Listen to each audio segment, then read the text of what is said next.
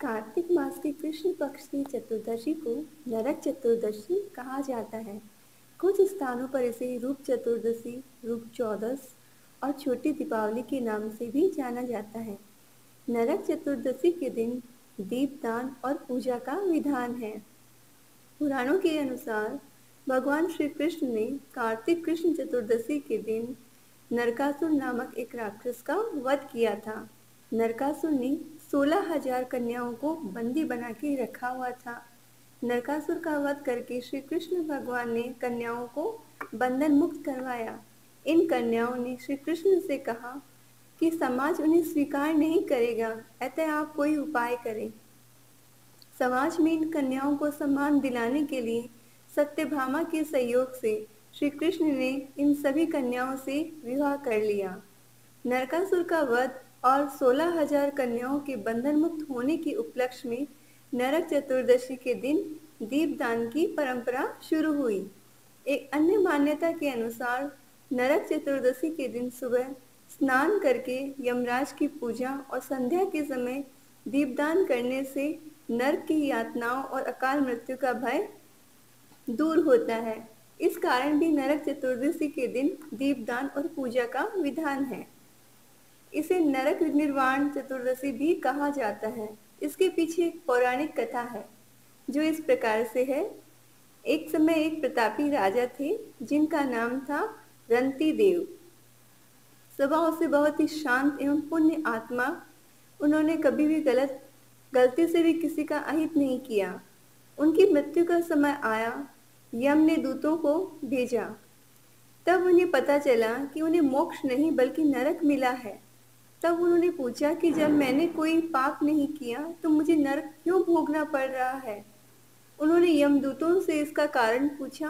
तब उन्होंने बताया कि एक बार अज्ञात, अज्ञानतावश आपके द्वारा से एक ब्राह्मण भूखा चला गया था। इसी के कारण आपका नरक योग है। तब राजा रंती ने हाथ जोड़कर यमराज से कुछ समय देने को कहा, ताकि वे अपनी करनी को सुधार सके। उनके अच्छे आचरण के कारण उन्हें यह मौका दिया गया। तब राजा रंती ने अपने गुरु से सारी बात कही और उपाय बताने का आग्रह किया। तब गुरु ने सलाह दी कि वे हज़ार ब्राह्मणों को भोजन कराएँ और उनसे क्षमा मांगे। रंती देव ने ऐसा ही किया। उनके कार्य से सभी ब्राह्मण प्रसन्न हुए और उन्हें आशीर्वाद के फल से रंती देव को मोक्ष मिला।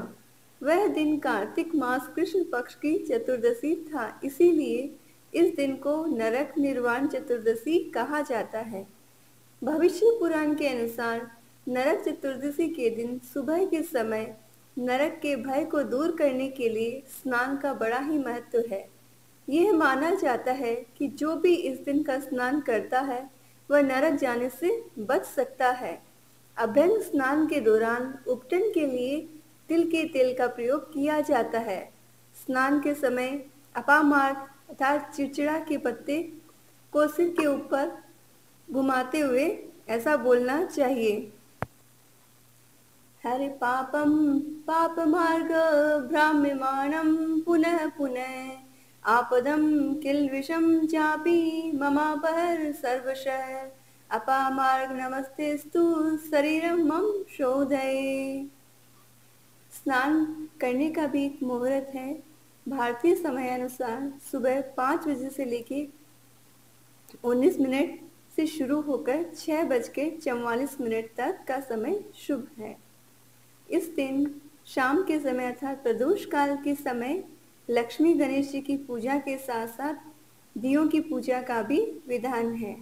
और ये पूजा कुछ इस प्रकार से करनी चाहिए।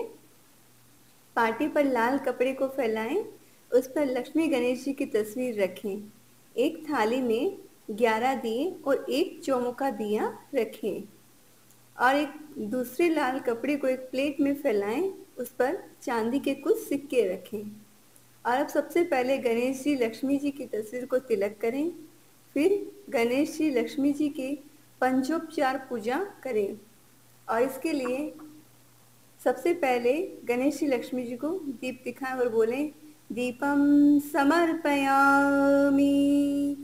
उसके बाद धूप दिखाएँ और बोलें धूपम समर्पयामी। और फिर इत्र वह वो समर्पित करें और बोले गंधम समर्पयामी। उसके बाद जो कोई भी मिठाई बनाई हो, उसका भोग लगाएँ और बोले नैवेद्यम समर्पयामी। और उसके बाद में पुष्पों से उनकी पूजा अर्चना करें और बोले पुष्पम समर्पयामी। इसके बाद गणेश जी लक्ष्मी जी की आरती करें और श्रीम स्वाहा श्रीम स्वाहा, इस मंत्र का 108 बार जाप करें। उसके पश्चात दियो दियों की पूजा करनी है और सिक्कों की सिक्कों की रोली और चावल से पूजा करें और थोड़ा गुड़ चढ़ाएँ। सभी दियों में थोड़े थोड़े चीनी के दाने या गुड़ के दाने डालें। उसके बाद रोली और चावल से सभी दीपक की पूजा करें। और माँ लक्ष्मी से अपनी कृपा दृष्टि प्रदान करने की प्रार्थना करें। जय लक्ष्मी मैया।